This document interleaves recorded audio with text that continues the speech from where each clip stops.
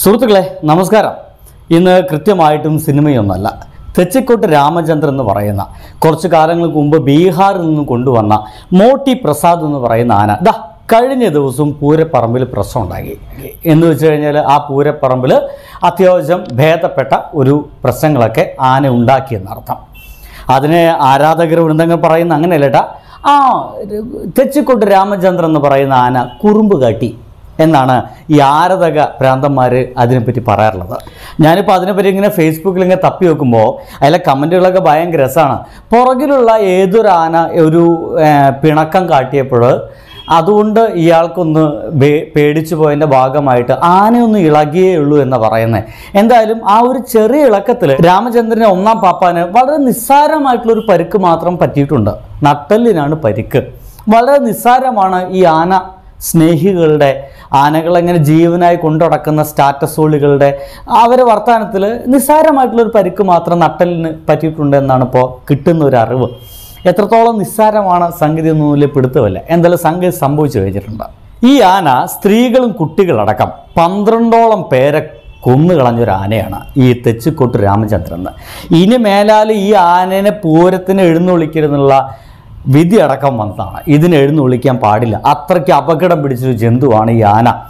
ഏറെ ഏറ്റവും നമ്മുടെ ഈ തെച്ചിക്കോട്ട് രാ ആനകൾ മിക്കത് അപകടം പിടിച്ച് തന്നെയാണ്.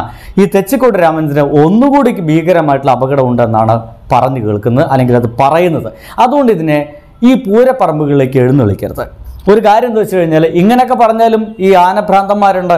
തെച്ചിക്കോട്ട രാമചന്ദ്രൻ വന്നു കഴിഞ്ഞാൽ മാത്രമാണ് പൂരം പൂരമാവുകയുള്ളൂ എന്ന് വിചാരിക്കുന്ന ആളുകൾ എന്ത് ചെയ്യും? തെച്ചിക്കോട്ട് രാമചന്ദ്രന്റെ വില പേജും. അതിന് അധികാരികളൊക്കെ മുട്ടുമടക്കും അങ്ങനെ മുട്ടുമടക്കിയതിന്റെ ഭാഗമായിട്ട് വീണ്ടും ആന പൂരപ്പറമ്പിലേക്കെത്തും ഈ ആന വരുന്നു എന്ന് പറഞ്ഞിട്ട് ഈ ആനഭ്രാന്തന്മാരുള്ള കേരളത്തിലെ മിക്ക ആളുകളും ആ പൂരപ്പറമ്പിലേക്ക് എത്തും അങ്ങനെ ഒരു പൂഴി മണ്ണ് പോലും വീഴാൻ ഇടമില്ലാത്ത സ്ഥലത്ത് മുഴുവൻ ആളുകൾ തിക്കിപ്പാഞ്ഞെടുക്കും. അവർ കിടന്ന് കാറും അലവിളിക്കും ഈ അലവിളികളുടെയൊക്കെ ഇടയിൽ ഈ ആന ചിലപ്പോൾ ഒന്ന് പേടിച്ചു എന്ന് വരും. ആന പ്രശ്നമുണ്ടാകും ചിലപ്പോൾ കൊലപാതകങ്ങളൊക്കെ അവിടെ നടക്കും. എന്നിട്ടും കുറുമ്പ് എന്നുള്ള വിളി മാത്രം ബാക്കി. അതിപ്പോഴും അതേപോലെ അവിടെ നിൽക്കുന്നുണ്ട് എന്നുള്ളതാണ് ഏറ്റവും വലിയ രസം. ഈ തെച്ചിക്കോട്ട് രാമചന്ദ്രന്റെ ഏറ്റവും മികച്ച പാപ്പന്മാരാത്ര രാമനും രാജേഷും. ഏറ്റവും മികച്ച പാപ്പന്മാരാണത്ര. പക്ഷേ ഏറ്റവും വലിയ രസം ഇത് ആനയ്ക്ക് അറിയോ എന്നുള്ളതാണ്. ഈ ആനയ്ക്ക് തന്റെ ഏറ്റവും മികച്ച പാപ്പന്മാരാണ് ഇപ്പോൾ രണ്ട് ഇടതുവശത്തും വലതുവശം അങ്ങനെ നടക്കുന്നതെന്ന് വലിയ പിടുത്തമില്ല. ഇനി ആനയെ പറ്റി പറയാം. ഇടതുവശത്തെ കണ്ണ് പരിപൂർണമായിട്ടും പൊട്ടിപ്പോയ ആന. നാല് പാപ്പന്മാർ നാല് വശത്ത് നിന്നാത്ര ഈ ആനയെ മുന്നോട്ട് മുന്നോട്ട് നയിക്കുന്നത്. എന്തായാലും കണ്ണ് പൊട്ടിപ്പോയ ഒരു ആനയാണ്. ഒരു കണ്ണിനാണെങ്കിൽ ഭാഗികമായ കാഴ്ചയുള്ളൂ. ഏത് നിമിഷവും അക്രമാസക്തനാവുന്ന ഒരു ആനയാണ് ഇതൊക്കെയായിട്ടും ഇതിനെ ഇപ്പോഴും നിർബാധം ആളുകളെ കൊലക്കി കൊടുക്കാൻ വേണ്ടി മാത്രം എന്ന രീതിയിലേക്ക് ഈ ആനനെ ക്ഷണിച്ചു കൊണ്ടുപോകുന്നു. അതിന് അധികാരികൾ എല്ലാവരും കൂടി അതിന് സമ്മതം കൊടുക്കും എന്നുള്ളത് ഇതിനൊക്കെ ഏത് തരത്തിൽ എന്തൊക്കെ പറയണമെന്നൊരു പിടുത്തവും എനിക്ക് കിട്ടുന്നില്ല. ഇനി ആനകളെ കുറിച്ചിട്ടാണ്. ഈ ആനയെ കുറിച്ചുമായിട്ടുള്ള ഈ ആനയെക്കുറിച്ച് മാത്രമല്ല കേട്ടോ കാട്ടിൽ നിന്ന് ഇവിടെ കൊണ്ടുവന്നിട്ട് നാട്ടേനാക്കുന്ന എല്ലാ ആനകളെ കുറിച്ചിട്ടാണ്. കാട്ടിൽ വല സുഖസുന്ദരമായിട്ട് നടക്കുന്ന ഒരു ആനയാണ് സിമ്പിളായിട്ട് പറയാം കാട്ടിലൊന്നും ഈ ആനയ്ക്ക് പട്ട വെട്ടി കൊടുക്കാൻ ആൾക്കാരൊന്നുമില്ല. ഈ ഉയരം കൂടിയ ഈ പനയുടെ മേലൊന്ന് കയറിയിട്ട് ഈ ആനകൾക്ക് പട്ട തിന്നാൻ കഴിയത്തില്ല. അതിന് ഇഷ്ടപ്പെട്ട ഭക്ഷണമാണ് ഈ പട്ട എന്നൊക്കെ പറഞ്ഞു കഴിഞ്ഞാൽ ഭയങ്കര വിഡിത്തമായി പോകും. എന്തൊക്കെയായാലും ഇതിന് പട്ട വെട്ടി കൊടുക്കുന്നു. ആനകൾ അവിടെ പുല്ലും ഈ മുളങ്കുമ്പൊക്കെ തിന്ന് ഇലകളും പച്ചിലകളൊക്കെ തിന്ന് ജീവിക്കുന്ന ജീവിയാണ് അതിനാണ് നമ്മൾ ഇഷ്ടമില്ലാത്ത ഭക്ഷണങ്ങൾ. ഇനി ആനയൂട്ട് എന്ന് പറഞ്ഞിട്ട് ഈ മനുഷ്യന്മാർക്ക് കൊടുക്കുന്ന ഭക്ഷണമൊക്കെ ഇതിന്റെ വായിലേക്ക് തള്ളി കൊടുക്കുന്നൊരു ഏർപ്പാടുമുണ്ട്. അതോടുകൂടിയിട്ട് ഈ ആനകൾക്ക് വേണ്ട എല്ലാ അസുഖങ്ങളും അതോടുകൂടി തുടങ്ങും ചെയ്യും. ഇനി ആനകളെ പരിശീലിപ്പിക്കുന്ന രംഗത്തിലേക്ക് കിടക്കണം. ഒരു വലിയ മരത്തിന്റെ കൂട്ടിയിലിട്ട് അടിച്ചും കുത്തിയും കണ്ണ് കുത്തിപ്പൊട്ടിച്ചും ഒരിക്കലും മാറാത്ത ഒരു വ്രണം ഒരു മുറിവ് അവരെ കാലിലും ചെവിട്ടിലൊക്കെ ഉണ്ടാക്കിയെടുത്തുകൊണ്ടാണ് ഈ ആനയെ മെരുക്കിയിട്ട് നമ്മുടെ ഈ പൂരപ്പറമ്പിലേക്ക് ഇവന്മാർ ഇറക്കുന്നത് ഒരൊറ്റ കാര്യം ഈ ആന എന്ന് പറയുന്ന ഒരു പെറ്റ ആനിമലല്ല നമ്മളുടെ നമ്മൾ കുട്ട ശങ്കര രാജശേഖര എന്നൊക്കെ വിളിച്ചാൽ അല്ലെങ്കിൽ നെച്ചിക്കോട്ട് രാമചന്ദ്ര രാമ എന്നൊക്കെ വിളിച്ചു കഴിഞ്ഞാൽ വളരെ സ്നേഹത്തോടെ കൊമ്പും കുലുക്കിയിട്ട് ഇങ്ങനെ നടന്നു വരുന്നുണ്ടല്ലോ. അതിന് സ്വാഭാവികമായിട്ടുള്ള നടത്താണത്. നടന്നു വരുമ്പോൾ ആ കുറുമ്പന്റെ നടത്തം കണ്ടോ എന്നൊക്കെ പറഞ്ഞിട്ട് അതിനെ ക്ഷണിച്ച് നമ്മുടെ മടിയിലിരുത്താൻ പറ്റുന്ന ജീവിയൊന്നല്ല. ശരിക്കും പറഞ്ഞാൽ ഇതൊരു ടാമഡ് ആനിമലാണ് ഭയപ്പെട്ടുകൊണ്ട് മാത്രം നമ്മൾ അനുസരിക്കുന്ന ഒരു ആനിമൽ അതിനെ ഈ മെരുക്കുന്ന സമയത്ത് ഭയപ്പെടുത്തി തന്നെയാണ്. അതിക്രൂരമായിട്ടുള്ള അടികൾ കുത്ത് കണ്ണ് കുത്തിപ്പൊട്ടിക്കൽ ഒരിക്കലും മാറാത്ത ഒരു മുറിവ് കാലിലുണ്ടാക്കൽ പലപ്പോഴും ഇവർ നിൽക്കുന്ന നോക്കിയാൽ മതി. ആ മുറിവിലായിരിക്കും പലപ്പോഴും ഈ ഒരു ചങ്ങലകൾ നിൽക്കുന്നുണ്ടായിരിക്കുക. ആ ചങ്ങലയും മുറിവിലാക്കിക്കൊണ്ട് അത് അങ്ങനെ വേദന സഹിച്ച് ആ പൂരപ്പറമ്പിൽ ചുറ്റുമുള്ള ഈ ഭ്രാന്തന്മാരുടെ അലമുറകളുടെ ഇടയിൽ അങ്ങനെ നിൽക്കും. ഒപ്പം ചെണ്ടവിളി ഉണ്ടായിരിക്കും. തൊട്ടപ്പുറത്ത് വൈകുന്നേരം ആകുമ്പോഴത്തിന് ഒരു കതിനവിടി ഉണ്ടായിരിക്കും. ഇതോട് കൂടിയിട്ട് ആനയുടെ കാര്യം നിൽക്കാൻ പറ്റില്ല.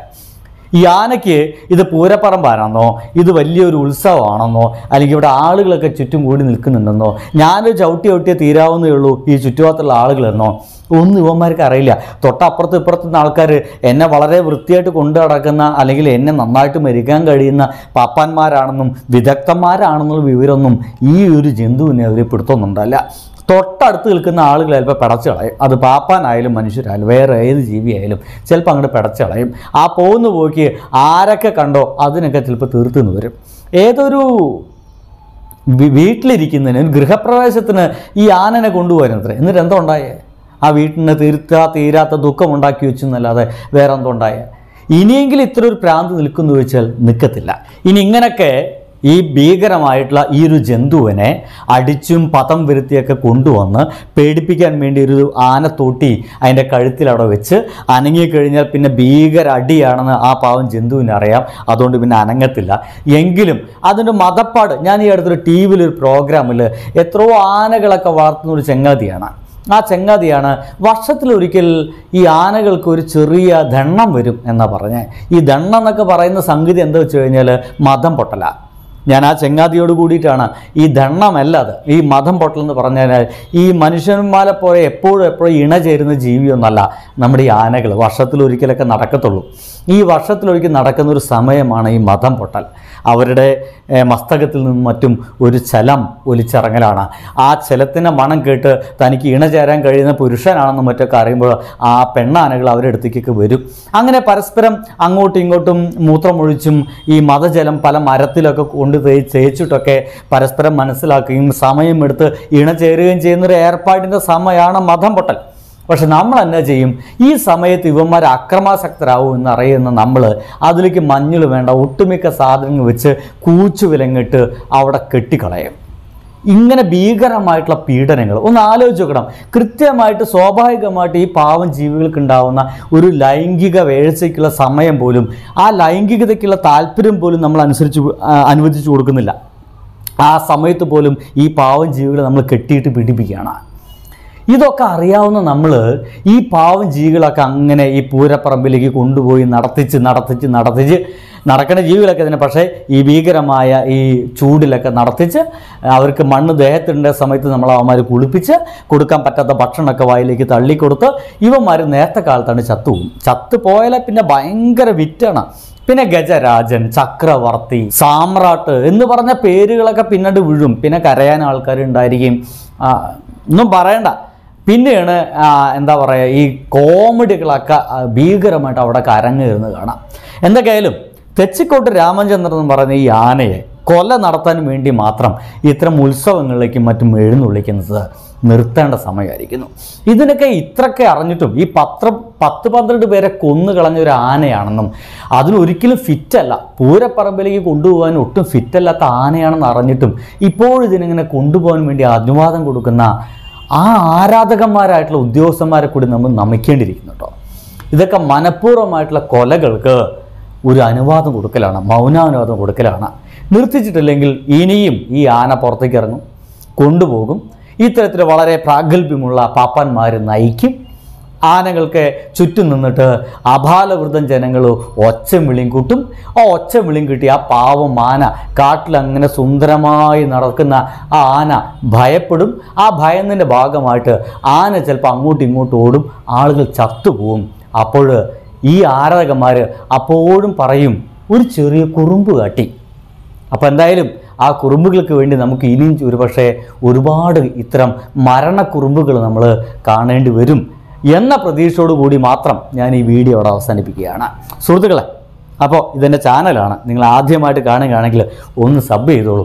ഇതുപോലത്തെ വീഡിയോസുകളൊക്കെ നിങ്ങൾ മുമ്പിലേക്ക് വളരെ പെട്ടെന്ന് അങ്ങോട്ട് എത്തും. അപ്പോൾ ഒപ്പം തന്നെ നിങ്ങളുടെ വളരെ സ്നേഹികളായിട്ടുള്ള ആളുകൾക്ക് എന്താണ് ഈ ആന?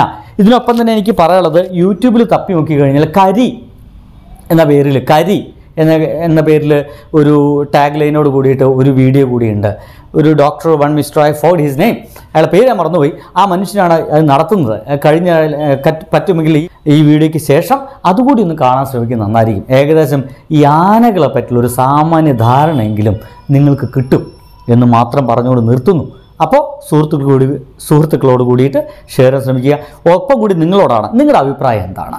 ഇനിയും ഈ ഒരു ഭ്രാന്തനാനെ അല്ലെങ്കിൽ ആളുകളെ കൊല ചെയ്തുകൊണ്ടേയിരിക്കുന്ന പൂരപ്പറമ്പ് മുഴുവൻ കൊലക്കളമാക്കി മാറ്റുന്ന ഈ ആനയെ ഇനിയും നമ്മൾ സംരക്ഷിക്കേണ്ടതുണ്ടോ? അല്ലെങ്കിൽ ഇത്തരം പൂരപ്പറമ്പിൽ എഴുന്നേൽക്കേണ്ടതുണ്ടോ നിങ്ങളുടെ അഭിപ്രായം എന്താണ്? ഒന്ന് സത്യസന്ധമായിട്ട് ഈ ചാനൽ താഴെ ഒന്ന് എഴുതാൻ ശ്രമിക്കുക. അപ്പോൾ തൊട്ടടുത്ത ദിവസം വേറൊരു വീഡിയോയുമായിട്ട് ഞാൻ നിങ്ങളുടെ മുമ്പിലേക്ക് എത്താൻ ശ്രമിക്കാം. അതുവരേക്കും ബബായ്